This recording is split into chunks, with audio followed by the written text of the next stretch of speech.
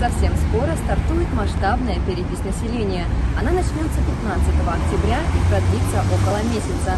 Поэтому мы решили выйти на улицы города и поинтересоваться у каспийчан, что они знают о переписи населения и для чего она нужна.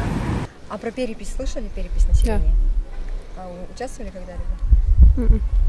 А знаете, для чего проводятся вообще такие мероприятия? Ну, узнать количество жителей в городе, наверное.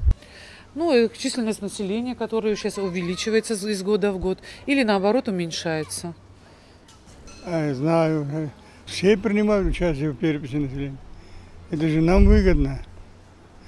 Правильно? Чем население больше, тем снабжение этого населения больше.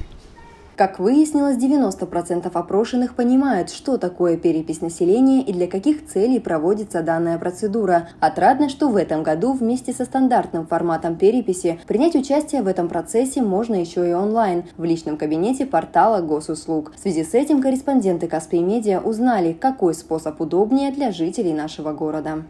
Удобнее э, такой э, старый вариант, потому что человек приходит, волонтер, и он видит, э, сколько на самом деле человек в семье.